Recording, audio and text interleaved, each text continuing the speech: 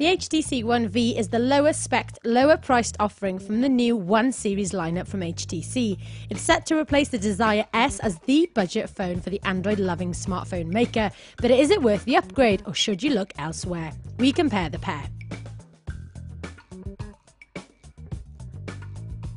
First thing you'll notice on the HTC One V is its similarity to the old favourite, the HTC Legend, with a lip underneath the touch commands. It's small, stylish, and pocket friendly. The Desire S was the bastion of change for HTC with the slimmer form factor and a more premium feel.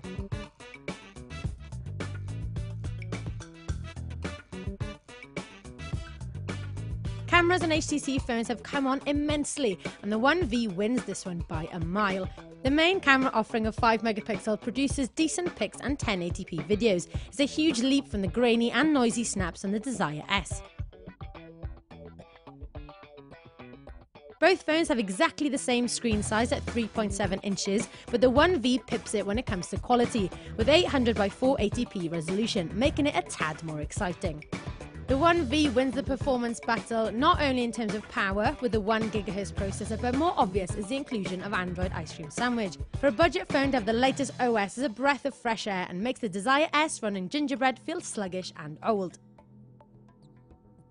Both these phones are for those looking at the budget end of the market. They're never going to compare with the high-end HTC One X or the middle ground HTC One S, but the HTC One V more than holds its own against its lower spec, lower priced predecessor.